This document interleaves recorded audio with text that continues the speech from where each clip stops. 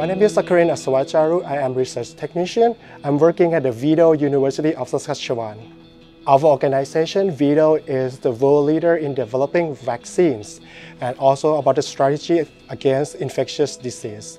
And we also will be established as the uh, Canada Center for Pandemic Research.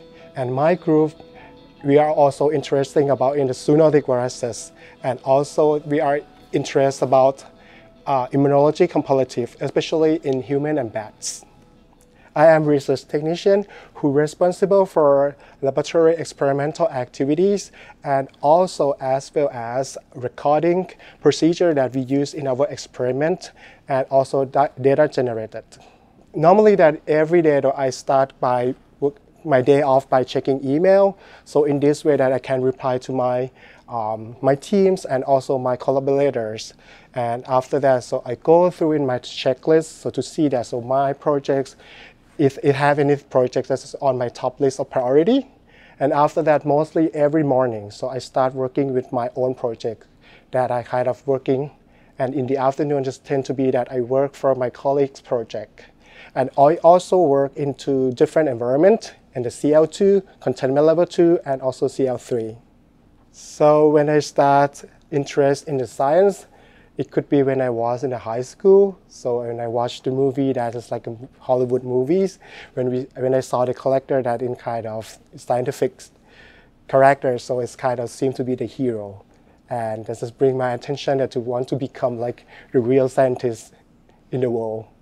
Normally that to become like a research technician, you require at least an undergrad in biomedical science or other relevant science, and or maybe that to be kind of bioscience technology diploma. But however, that to become like a good researcher, that at least that you might need kind of a graduate, like a master of science, because you have been trained to have scientific thinking and also know how to troubleshooting. For myself, I graduated veterinary medicine from Thailand, and after that, I kind of moved myself to work in a private company. And in that time, I kind of interest that it's like, I want to go to in a scientific field.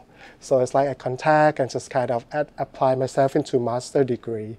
And I moved myself to come to study in veterinary microbiology in the University of Saskatchewan. And after that, I get to know the VIDO, and I kind of interest more and more in about the vaccine developing and become like a research technician. I would say that so you should take time to think about that what you like to do and just kind of dream and maybe just kind of imagine for your ideal career that you want to be. But moreover that, so I think the most important is like you just challenge yourself, but do not overwhelm yourself.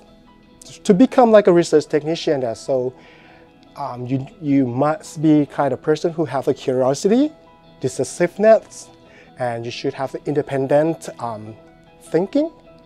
And most important thing that to become a good researcher technician that you should be a good team player.